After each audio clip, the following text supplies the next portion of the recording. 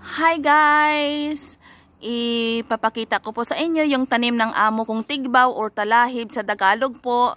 Ito po nagtanim po siya dahil may pamahiin po sila na uh, pag lumambo pong itong tigbaw o talahib ay lalambo rin po yung kanyang ano yung kanyang serbisyo sa government kasi nga po nanalo po siya as a consyal dito po sa aming lugar.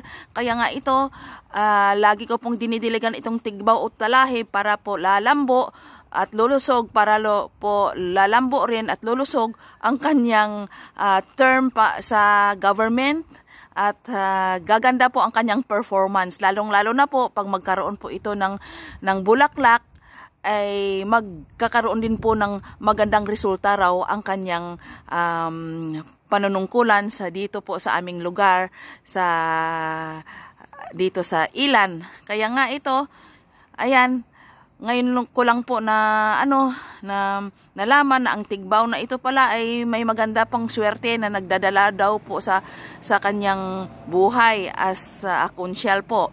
So ito lang po muna ang aking mai-share sa inyo na ang tigbaw or talahib ay nagdadala raw po ng swerte. Kaya magtanim na kayo ng tigbaw diyan.